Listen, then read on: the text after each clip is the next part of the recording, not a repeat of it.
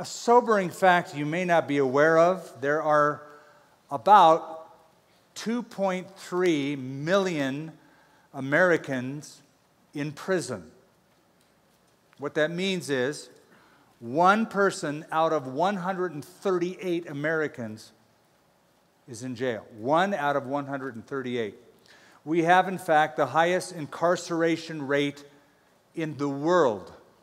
Now, get this the United States has 5% of the world's total population, but 25% of the world's prison population.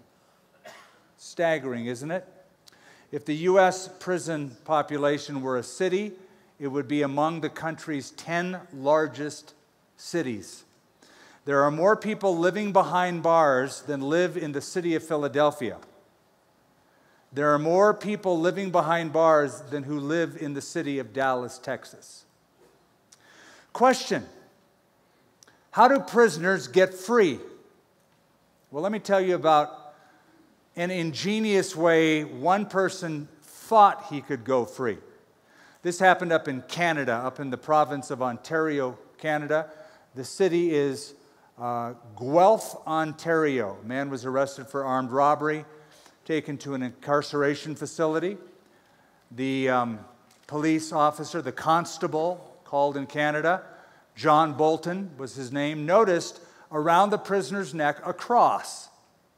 Now that interested him because he knew the prisoner was not religious, but he's wearing a cross. So he said, Let me look at that cross. He looked very carefully and he noticed out of the top of the cross a little protrusion and so he asked the prisoner about it. He goes, Oh, it's just a thing, it's a design, it's a style, doesn't really mean anything. So, not convinced, the constable had the prisoner take the cross off and discovered that that little protrusion from the top of the cross could unlock most sets of handcuffs.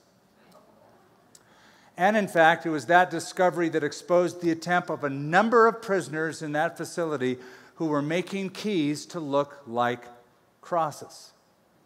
So it was the cross that was the key to their freedom.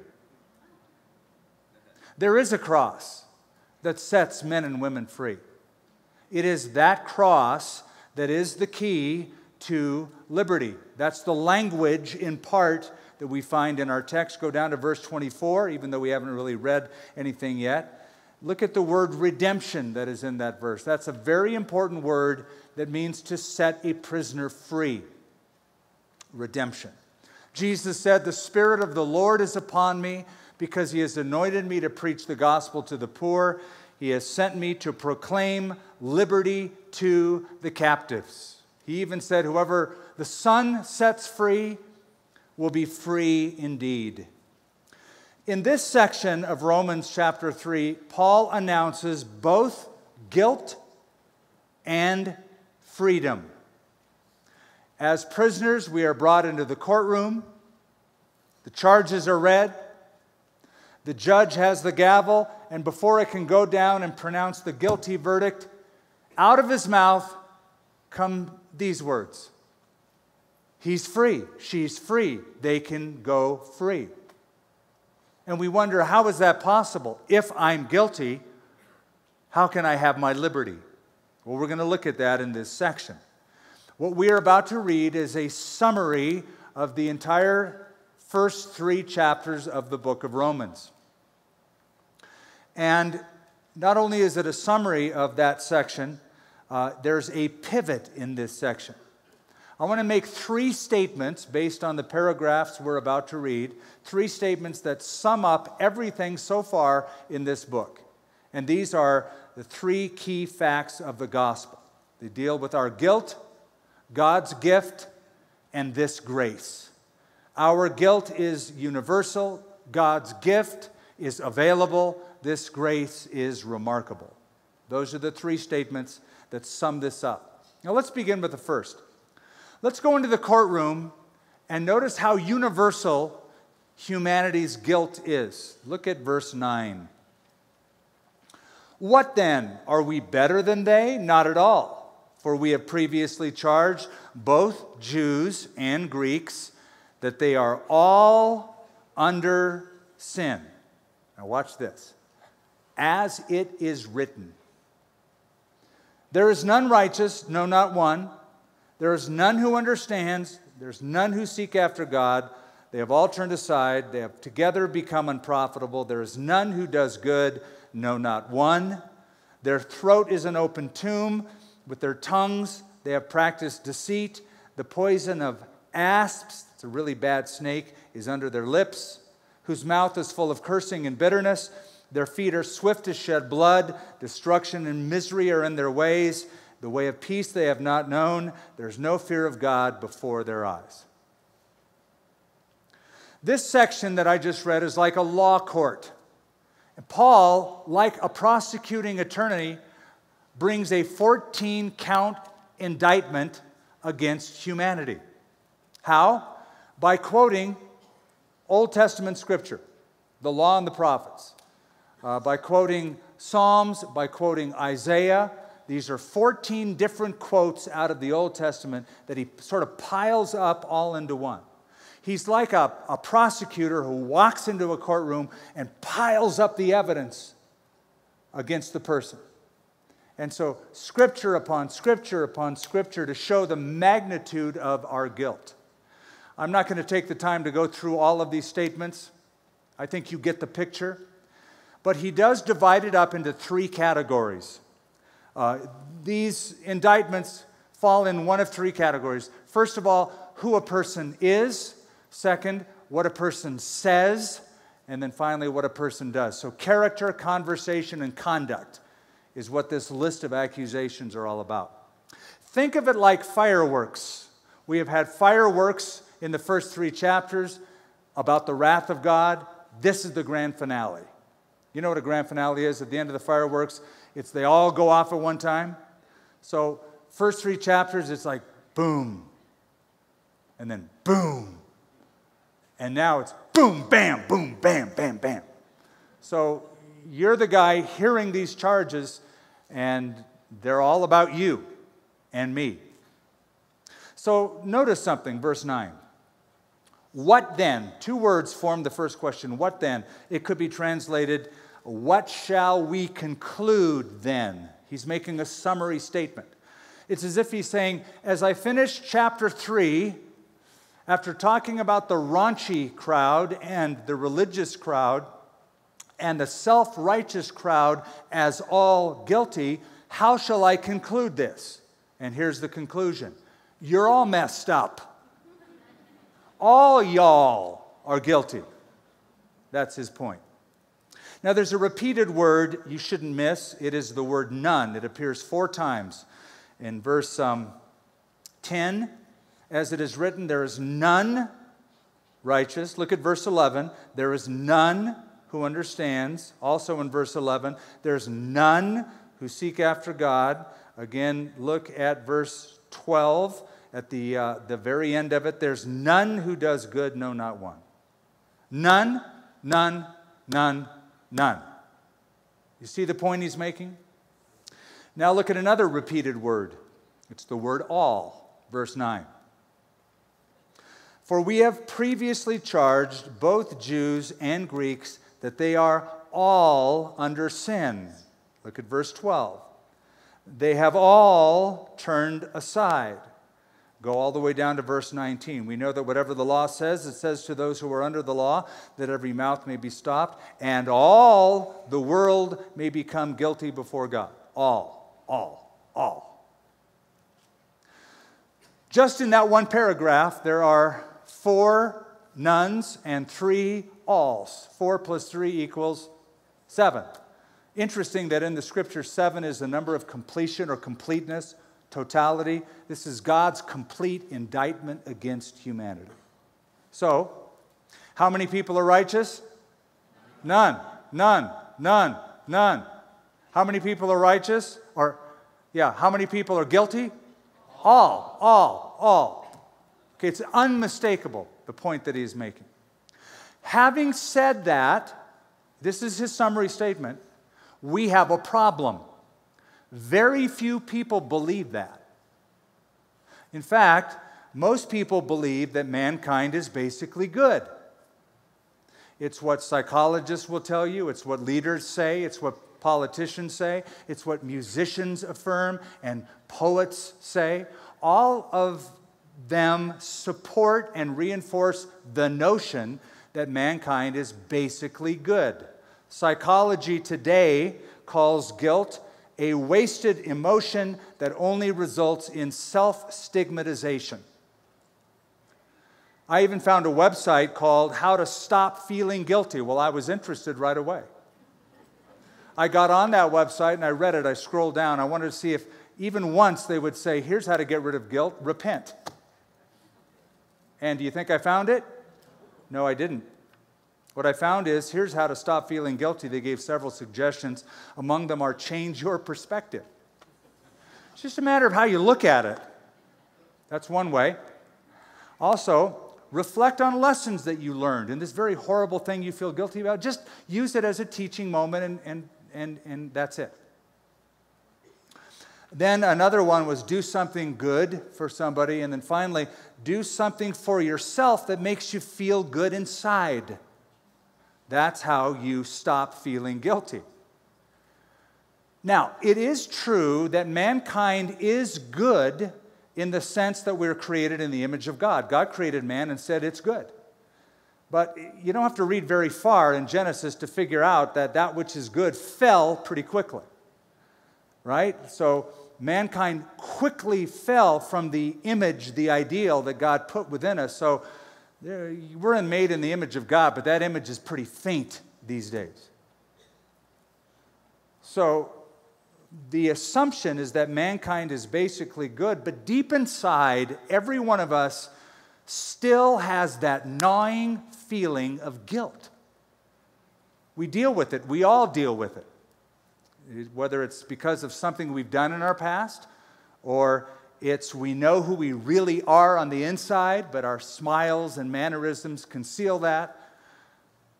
At the, at the same time, society has, has declared war on guilt.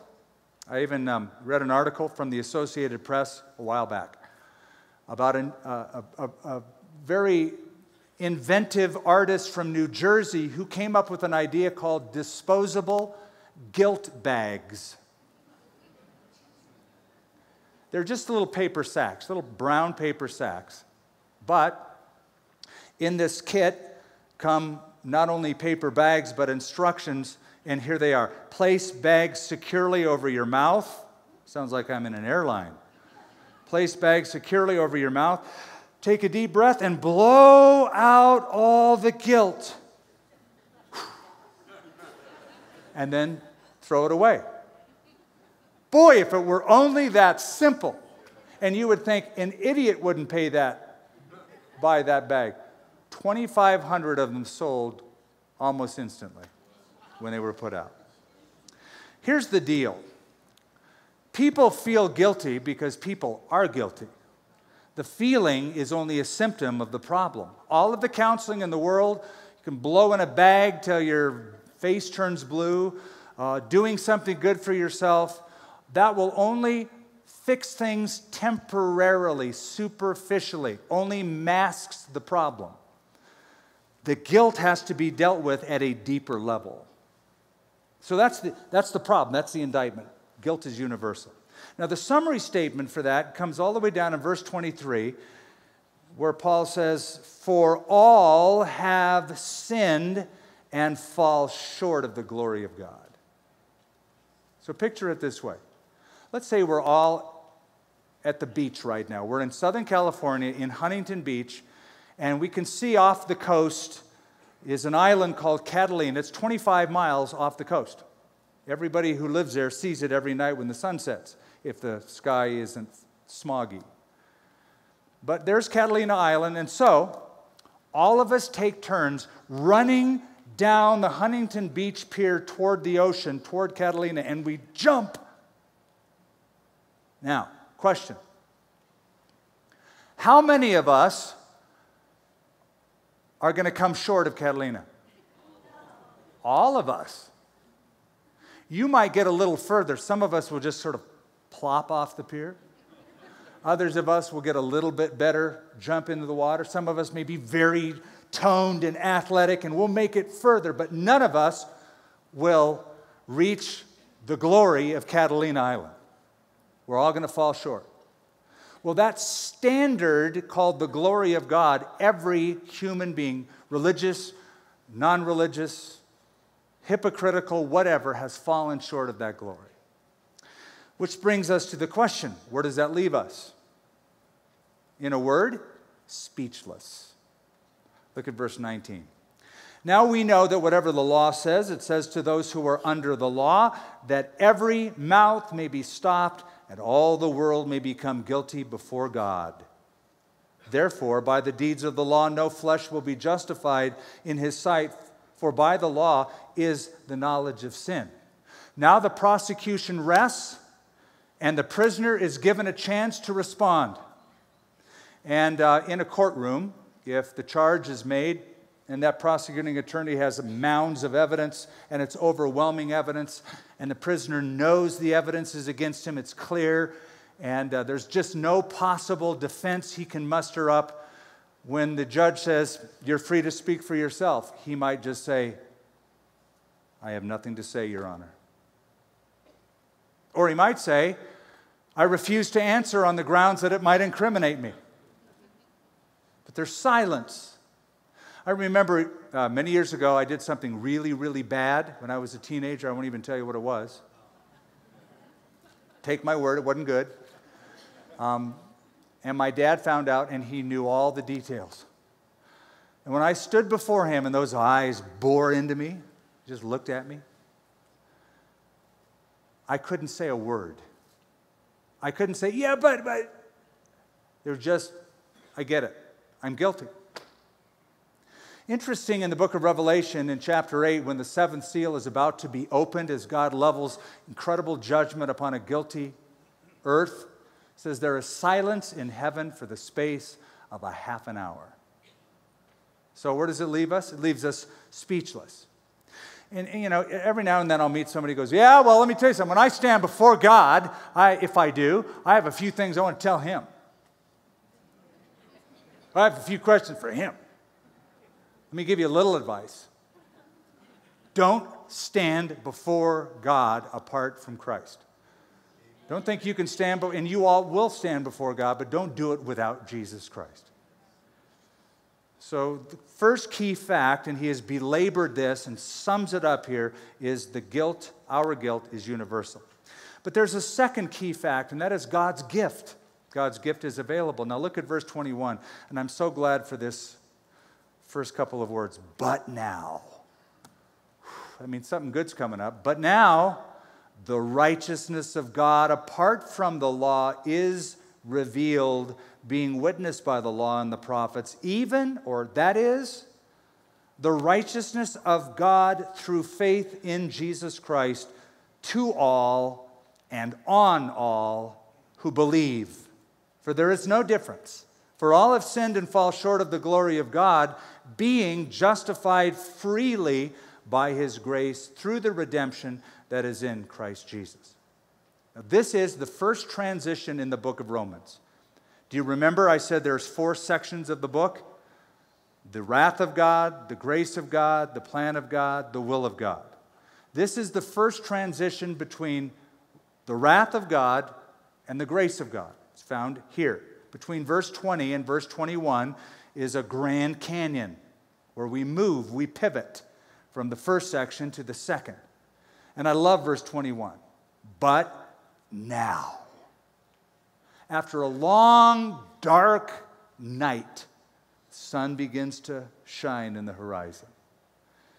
Or in the language of the Chronicles of Narnia, the long, dark winter is over and Aslan is on the move. Finally. I love this section, and I just, before we even unravel anymore, I want you to know how important it is. One of my favorite commentators, Donald Grey Barnhouse, uh, drew a heart over these verses in his Bible, and he wrote in his commentary I'm convinced today, after these many years of Bible study, that these verses are the most important verses in the Bible. Leon Morris, another great writer, said, This is possibly the most important paragraph ever written. And Alva McClain said, if I could only have six verses out of the Bible and the rest be taken away, I'd pick these six verses from verse 21 to 26 because he said all of God's gospel is there. So, what is he, what is he talking about? What is he introducing? The righteousness of God. Do you see it? But now the righteousness of God apart from the law is revealed. Okay. What Paul is doing is going back to a theme he introduced in chapter 1. I want you to see that. Go back to chapter 1. Turn there to chapter 1, verse 17. Got chapter 1? Okay, verse 16. For I am not ashamed of the gospel of Christ. It is the power of God to salvation for everyone who believes, for the Jew first, also for the Greek. Here it is. For in it, the righteousness of God is revealed from faith to faith, as it is written, the just shall live by faith. He introduces the thought, the righteousness of God. But then he plummets downward in the very next verse. Notice it. For the wrath of God is revealed from heaven against all ungodliness and unrighteousness of men who suppress the truth in ungodliness. And from there on, all the way through until now, it's all been in the muck and the mire and darkness of the wrath of God. Now we're back up to the theme he introduced in chapter 1 the righteousness of God. Now he opens the windows, now he lets the light in. What does that mean, the righteousness of God? It does not mean God's own personal righteousness. It means the righteousness he provides the righteousness he gives as a gift. And why is that important to us? Well, our clothes are pretty raunchy. Isaiah 64 all of our righteousness is as filthy rags, it says. All of our righteousness is as filthy rags. Boy, you need new clothes. And here is the robe of righteousness that is given to us. Um, I just want to highlight it is this verse that revolutionized the life of a 21 year old Augustinian monk by the name of Martin Luther. He was reading the book of Romans. There was one phrase he was having trouble with. You know what that phrase was? The righteousness of God. It bothered him because he said, I thought it meant the righteousness that God personally has by which he punishes people. I'm God and you're not. I'm righteous and you're not. I'm after you. But he wrote this Night and day I pondered until I grasped the truth that the righteousness of God is that righteousness whereby through grace and sheer mercy he justifies us by faith. Thereupon I felt myself to be reborn and to have gone through open doors into paradise. It changed his life. It brought the Protestant Reformation, and I would say it even changed Western society. Notice what he says about it. The righteousness of God, apart from the law, is revealed, being witnessed by the law and the prophets. Now, he just quoted the Old Testament to say, You're guilty 14 times. The law and the prophets say, You're all messed up. Now he says, The righteousness of God apart from the law is revealed. So the same law and prophets that announced our guilt announces God's gift. Some of you who know the Old Testament think, It does? Are you saying that the Old Testament predicts salvation as a gift by faith? Absolutely. Here's one of the prophets, Jeremiah 31. God announces, I'm going to make a new covenant with the house of Israel. Not like the old covenant of the law, I'm going to write my law in their hearts. Or Isaiah 53, there's a prophet. Um, all we like sheep have gone astray, but the Lord laid on him, Jesus, the iniquity of us all. Or how about the Old Testament sacrificial system? Uh, in the Old Testament, uh, you and I, for worship, aren't you glad we don't have to do this on Sunday morning? We'd bring an animal. We'd lay our hands on the animal, we confess our sins on the animal. A priest would take a knife, slit its throat, the animal would bleed out and die. And that sacrifice God would allow to cover your sins. At that point, you realize, I'm not here in my own righteousness. Something has been done to allow God to forgive me. And in this case, it was an animal. All of that was looking forward to the time when those sacrifices would stop because Jesus Christ would come. Question How is this righteousness available? Would you look at verse 22 to answer that question? even the righteousness of God through what? Faith in whom? Now, mark that. Note that it's not faith in God generally, it is faith in Jesus Christ specifically. Faith in God is not enough. I'll say it again faith in God is not enough. People say, I believe in God. So? Well, they love God, they follow God, so. Faith in God is not enough, faith in the Son of God is enough. Jesus said, I am the way, the truth, the life. No one comes to the Father except through me. It is specifically in the one who paid the price on the cross. Faith in Him. Our guilt is universal. God's gift is available on all who believe. Let's end with this third one. This grace is remarkable. Look at verse 24 again, and we'll finish this out. Being justified freely by his grace through the redemption that is in Christ Jesus, whom God set forth as a propitiation by his blood through faith to demonstrate his righteousness, because in forbearance God passed over the sins that were previously committed to demonstrate at the present time his righteousness, that he might be just and the justifier of the one who has faith in Jesus. See, God has a little dilemma. If he's going to be perfectly just, he has to judge sin. And if it says guilty, guilty, guilty, guilty, you're all guilty, he's got to do something with that. So, how is he going to be just and at the same time let the prisoner go free, justify people? He has to let it all be taken out on one sinless victim so that he can confer something on others who are guilty. He's just as well as the justifier.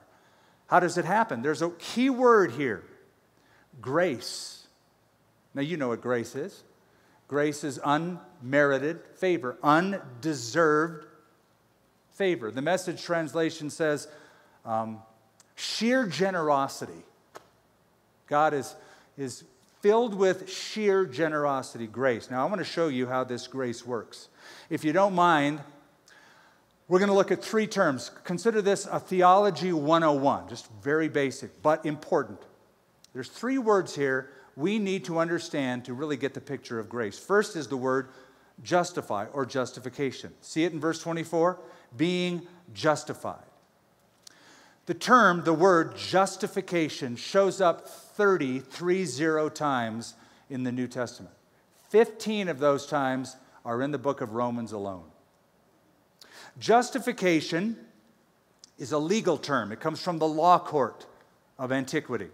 It's a forensic term. If you were brought into the judge in a courtroom, um, after all the evidence is given or lack thereof, he would make one of two proclamations he would either say condemned or he would say justified.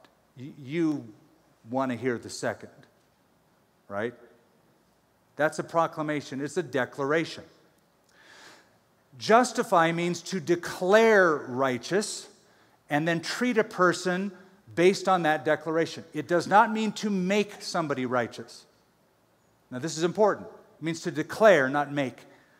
See, I know some of you really well, and you're not all that righteous. Some of you know me really well, and I'm not always all that righteous. It doesn't mean to make righteous, it means a proclamation or a declaration. It's God saying, I pronounce you a righteous man or righteous woman, and I'm going to treat you like you never sinned. In fact, it helps to explain the word by breaking it apart. I'm justified. That means God treats me just if I'd never sinned. Justified, just if I'd never sinned. Well, how does all that work with the wrath of God? How can God justify when that wrath is hanging out? Well, one Puritan by the name of Henry Smith explains briefly by saying, Christ hides our unrighteousness with his righteousness. He covers our disobedience with his obedience. He shadows our death with his death, that the wrath of God cannot find us. Beautiful picture.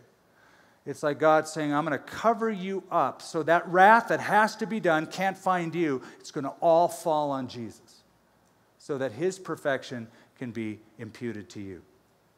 How is that done? It says we're justified. Verse 24, justify. What's the next word? Freely. Freely means without a cause. There is no reason that God should do this. That is, he, you can't produce a reason.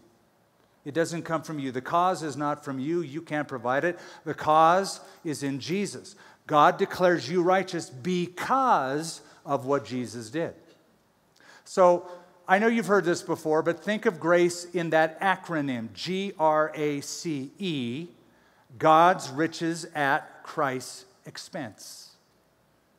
That's grace. And that's the first word, justification, comes from the law court. Look at the second term, redemption. Now, redemption is language that comes from the slave market. It means to set somebody free by paying a price. So they would go into the slave market and they would pay a sum of money called a ransom to set a prisoner free or a slave free. But here's the deal the fact that money was given shows that the owner places value on the prisoner or the slave. He's willing to pay money. So redemption indicates value. What does that mean to you and me? It means you are so precious to God. God looked at your life, looks at your life, and said, You are worth all of the pain that I'm going to send my son through. You're worth it. I'm willing to pay that price to get you with me forever. That's the idea of redemption. John 3:16, for God so loved the world. Aren't you glad it doesn't say, For God so loathed the world that he sent his son to punch us out? He loved the world. Here's a story to illustrate it. An American tourist went to Paris and she bought a very inexpensive amber necklace at a trinket shop. Paid under $25. But when she was going through customs to bring it home, she had to pay an inordinate amount of duty, tax, to get it out of the country. She didn't know why. She got back home, had it appraised. The jeweler who was looking it over looked it over and then looked his head, turned his head away from the little loupe, and said, I'll give you $25,000 right now for this necklace. She said, $25,000? I didn't pay $25. What makes it so valuable? And he said, Look here, and showed her the inscription that read, From Napoleon Bonaparte to Josephine. Ended up in a trinket shop in Paris. She bought it. Napoleon Bonaparte, Josephine, his first bride. Now, the value goes up because it's identified with a famous person. Your value comes from being loved by the God of this universe. That's redemption. Key word justification, redemption. Third word, sort of an odd word, is verse 25, whom God set forth as a propitiation by his blood through faith to demonstrate his righteousness, because in his forbearance, God passed over the sins that were previously committed to demonstrate at the present time his righteousness, that he might be the just and justifier of the one who has faith in Jesus. Of all three words, this word is the least familiar word. In fact, I'm going to guess you never used the word propitiation once this past week. Am I right? Unless you read it in the Bible. You never used the word. In fact, you only find it twice in the New Testament, once in Romans and then in 1 John. And not modern translations don't even use this word anymore, and here's why. It's hard to translate the Greek word hilasterion into English. Hilasterion is the Greek word. He is our hilasterion. My translation says propitiation. Doesn't help much. Might as well have said hilasterion. So other translations have tried to translate it. The New International Version says sacrifice of atonement. The um, today's English version uh, calls it a means by which men's sins are forgiven. That's so generic, it didn't help at all. Uh, the Revised Standard Version um, is a little bit closer a means for expiating sin. And finally, surprisingly, the New Living Translation gets closest to any of them, calls it the punishment for our sin to satisfy God's anger. That is more the meaning. The word, the basic idea means appeasement or satisfaction. So God's wrath is appeased, satisfied by the sacrifice of Jesus on the cross, so that that's a just act of punishment, and He can say to you and I, You're justified. You can go free, you have liberty. Now, I mentioned the word propitiation is used twice in the New Testament. Okay, you're still following me, right? Okay, so it's used twice in the New Testament, but if we had a Greek translation of the Old Testament, it's called the Septuagint version. Old Testament was written in Hebrew, but they translated it into Greek a couple hundred years before Christ. If we had a Greek version, that word in Greek shows up 20 times. And it's translated in the Old Testament mercy seat. Ring a bell? Remember the mercy seat? Remember the Ark of the Covenant? There was a lid on top of the Ark of the Covenant called the mercy seat. Propitiation. What happened on the mercy seat? Blood got sprinkled on the mercy seat. Inside that box, the ark was law, the Ten Commandments, broken by God's people over and over again. And God said, I will meet you, the only place I will meet with you is on the mercy seat. So, what kept God from judging his people? The blood that was on that mercy seat that covered all of their infraction, all of their guilt, all of their sin. What it means to us, to bring it to a conclusion, is Jesus is the only place God in heaven will meet with mankind on earth. Jesus is our propitiation. The only place we can come together is in Him. So Paul summed it up by saying there's one God and one mediator between God and men, the man Christ Jesus. He is our mercy seat. So that's how prisoners go free. Jesus satisfied the just demands of God's holy law. Uh, he, by his act, uh, brought us our freedom, paying the price of his own blood. God is now able to declare you as righteous as Christ and treat you as such.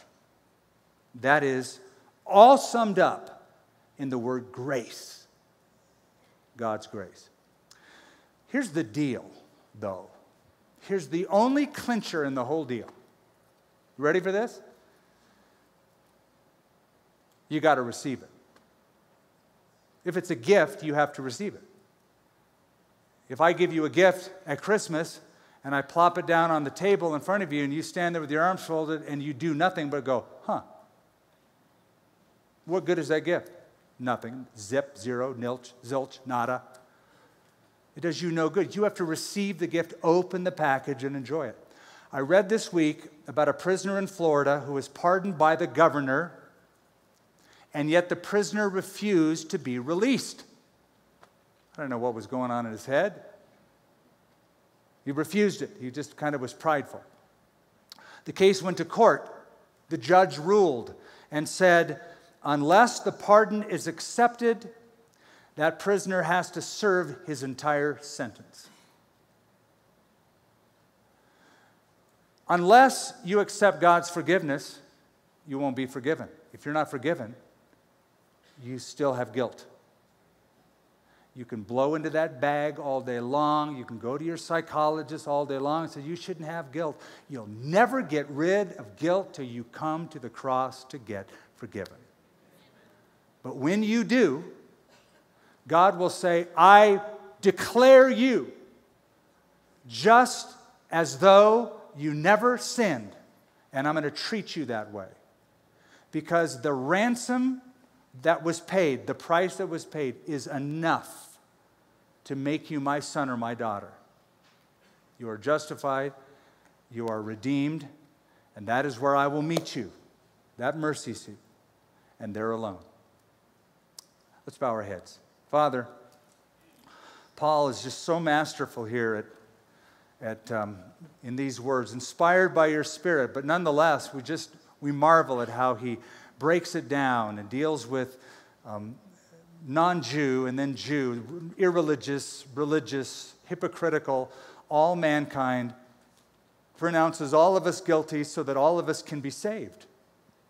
Because we realize what needs to happen. We have to admit that we have a problem.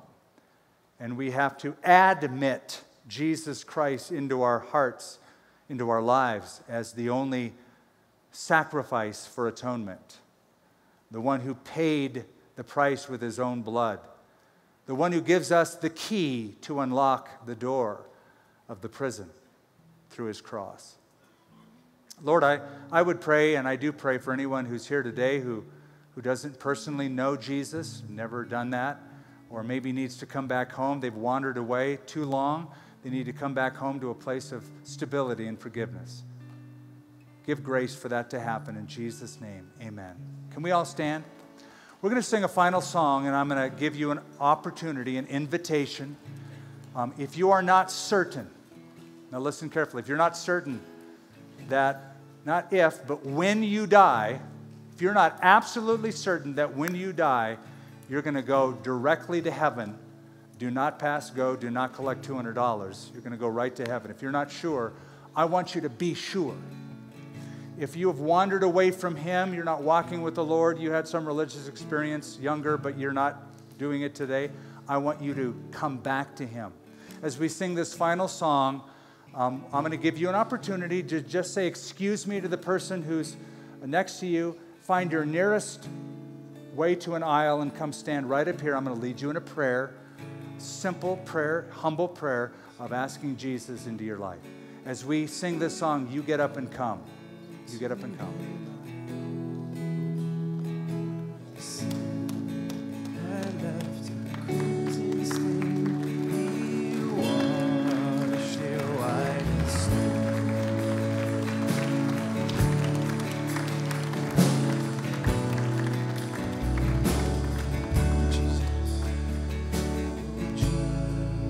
It always starts off this way. Whenever there's an altar call, it's like, I don't want to be the first person. Please be that first person.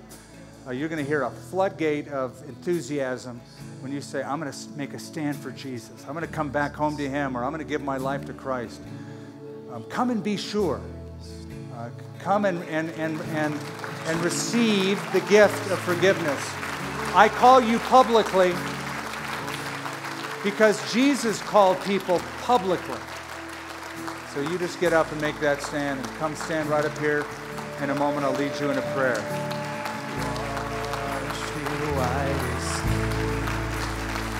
See that? What a welcoming response. Come stand up here. God bless you.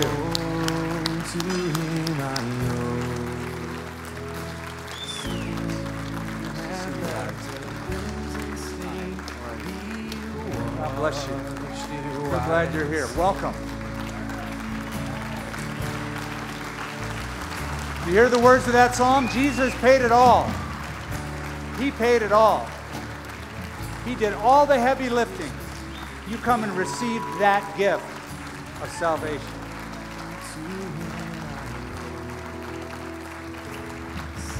God bless you guys. Come on. Yes. Come on up.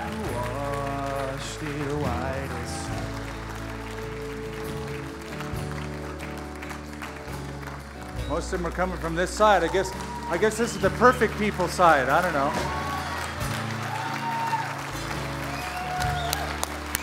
Yes.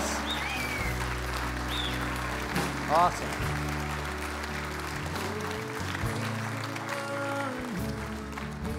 Real quickly, anybody else? I'm about to lead this fine group in a prayer. You come and be a part of that.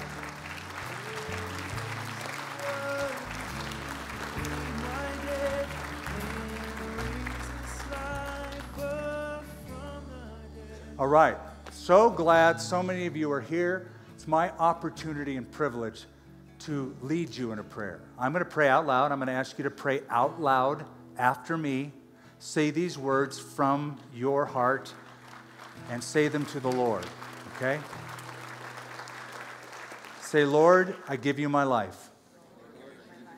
I know that I'm a sinner. Please forgive me. I believe in Jesus, that he died on a cross, that he rose from the dead, and that his blood was enough to pay for my sin. I turn from my sin. I turn to Jesus as Savior. I want to follow him as Lord. Help me. In, in his name I pray. Amen. We hope you enjoyed this message from Skip Heitzig of Calvary Church. How will you put the truths that you learned into action in your life? Let us know. Email us at mystory at calvarynm.church. And just a reminder, you can support this ministry with a financial gift at calvarynm.church/give. Thank you for joining us for this teaching from Calvary Church.